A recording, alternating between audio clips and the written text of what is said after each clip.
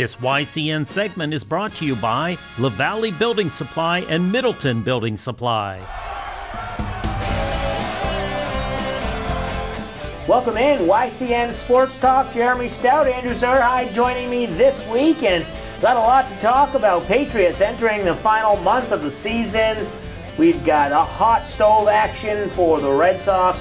And also, Andrew, talking about the Celtics later. Maybe they finally turn a corner. Let's hope so. Yeah, let's hope so, right? Rough start to the year, definitely. Right, yeah. So we got a lot to talk about. Let's get right to it. Talking Patriots. Good win on Sunday against the Vikings, 24 10, only giving up three points in that second half overall, maybe their best win of the season. Yeah, absolutely. I mean, that Viking offense, they are tough to stop. Mm-hmm. They have a number of guys like Thielen and a, a, just have a ton of offensive weapons that they can use, and that defense stepped up. The secondary was a little shaky, but the guys that were making tackles, and I think they put a ton of pressure on the Vikings quarterback. Uh, they did a nice job keeping him uncomfortable, um, but only allowing 10 points to that offense, that really is a big deal for this Pats team. Right, and you mentioned Thielen, one of their better, one of the best receivers in the league, right. only five catches, yeah. not lot of yards, 50 something yards, I think. Right. And that was really that key, keep him in check, Diggs in check. Diggs, right. Uh, and, and then obviously Kirk Cousins is going to get some yardage here and there, but you're right. Yeah. They put a lot of pressure on him, and they were able to make the plays when they needed to. A lot of good tackles. Yeah. Uh, maybe it wasn't one of those games where there was a ton of sacks or interceptions, but right. there was a lot of good one-on-one tackles, and that's what you like yep. to see against a,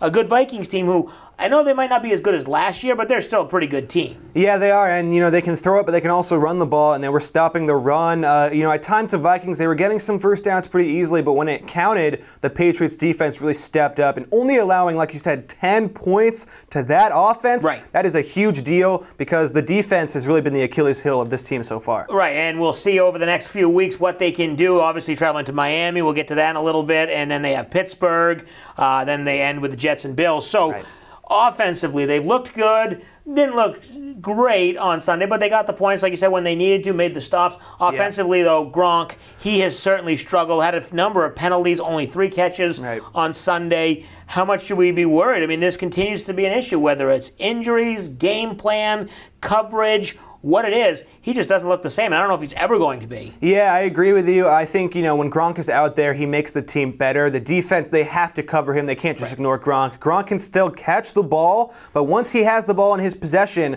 really making the play, that second run, kind of beating a tackler, he doesn't have that burst anymore. I don't know. I think it's probably a number of things. You know, maybe he's hurt a little bit. Mm-hmm. Maybe mentally, this is his last season, so right. he's kind of checked out. Uh, maybe he's not that happy with Belichick. There were rumors he was going to get traded, right? Right. But then some yep. guys, maybe uh, Tom, kind of you know, stepped up and said, "Bill, no way, don't trade Gronk." Right. Um, so I don't know exactly what it is. It looks like I'm going to say he's probably hurt. It seems like every time he gets tackled and hits the field, he comes up kind of limping, kind of you know wincing. Yep. Uh, it's not a good sign. There was one play, uh, I think it was either first or second down. Tom threw the ball to Gronk right on the nine. You know he had nine yards, had to get one more yard to get the first down. Couldn't push right. forward and beat that one man. In past seasons, one man on Gronk, right, Gronk is going to take him into the end zone. right. But right. Uh, you know this season he's just a little more hurt. Uh, you know doesn't have as much power. Uh, you know maybe not working out as much, trying to you know, do some longevity things. I don't know exactly what it is, right. but it's not the Gronk of old, definitely. It, it, sure isn't. And it seems like they might have, you know, maybe like six or seven games left of Gronk. You know, you've right. got the four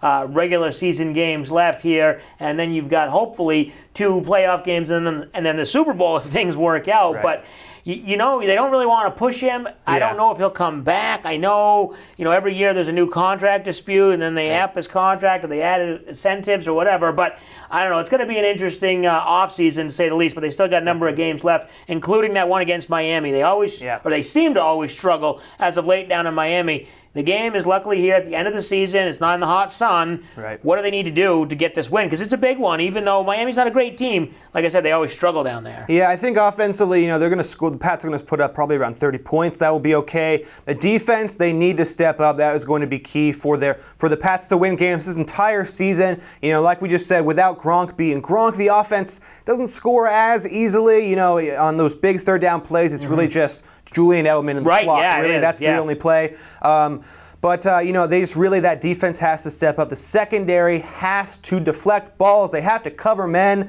Right. That defense cannot cover anybody. So if they can just cover people, put some pressure on the quarterback, I think they'll be okay. Yeah, and it's going to be interesting because you're right. That defense seems to have turned a corner, but Yeah. we'll see what happens when they go on the road. That's always been their tough spot is winning on the road.